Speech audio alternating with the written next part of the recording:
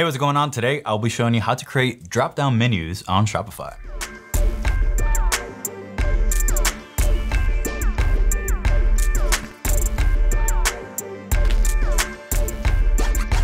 If you have watched our tutorials in the past, you probably own a business or are building a Shopify store.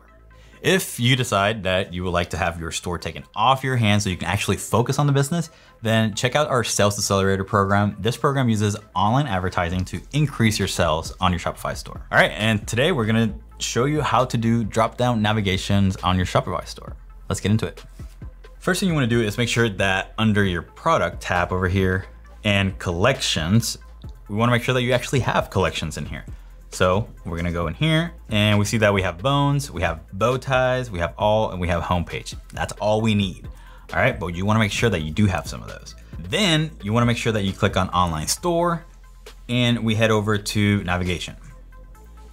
In here, we're gonna click on our main menu and we see home and we see catalog.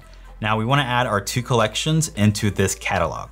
So what we'll do is we'll add a menu item and we'll call this one bones and then the link, you can actually type it in, bones, or you can search it by going to collections and then bones and then add. Next, you wanna go hover your hand, your mouse over the little dots over here, and then you click and drag inside of catalog.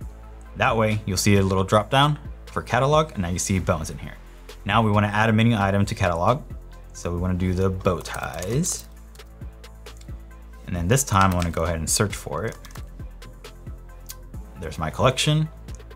And then you can also do uh, filter the collection. So if you have bow ties and you just wanna showcase maybe the blue ones, you can uh, filter the collection with tags. That's an optional, but you can still do it there. You can click add, and there you go. You created home, catalog, and then inside of catalog, you have bones and bow ties. I'm gonna close that and then hit save. And then I'm gonna show you how that looks on our site. So I'm gonna click on that little eyeball. And then now you see under home and then catalog, we can click there and we see the drop down for bones and bow ties. And there you have it. Simple, but very powerful in order to better serve your clientele uh, on your Shopify store by breaking down your products into collections and then uh, putting them into drop-down menus on your navigation. If you enjoyed this tutorial, then make sure that you click on that subscribe button. We're always pushing new tutorials to make sure that we help you grow your business on Shopify.